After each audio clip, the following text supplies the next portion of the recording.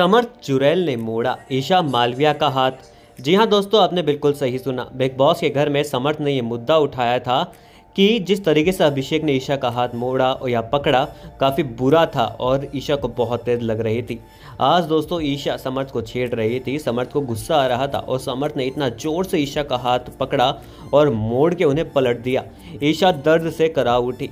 तब समर्थ ने नहीं छोड़ा। ना ही उन्हें यह फील हुआ कि ईशा को दर्द हो रहा है। भाई, जिस चीज़ के मुद्दे बनाते हुए समर्थ घर के अंदर आए थे, उससे भी ज़्यादा बड़ी हरकत करते हुए नज़र आए। माना दोनों का रिलेशनशिप है, लेकिन इस तरीके से किसी का भी हाथ मोड़ना कोई इंजरी हो सकती है, और ये चीज़ ईशा को पसंद भी नहीं आई।